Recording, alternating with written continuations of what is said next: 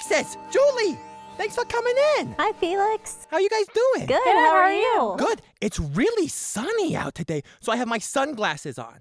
Yeah, you know, you should also be wearing sunscreen today. What? oh, sunscreen? Why? Well, the sun emits rays that are dangerous to our skin, so it's Uh-huh. important to wear sunscreen to protect our skin so we don't get burnt. Oh, so that you don't turn red. Right. Okay. And and then when should we put on sunscreen?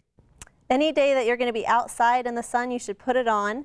And you might have to put it on more than once that day because sunscreen doesn't last the whole entire day. So Oh, Probably how about- long does it last? probably about an hour-ish. Oh, so every hour you have to put more sunscreen on. Yep. And do you put it on just when you go swimming or when you play sports or when? Just all the time when you're in the sun. Okay. It doesn't matter, even when you're not swimming, you can get burnt. Oh, I don't need sunscreen because I'm a puppet, but you need sunscreen, and that is important, right? Right. Right. Ah, thank you, girls.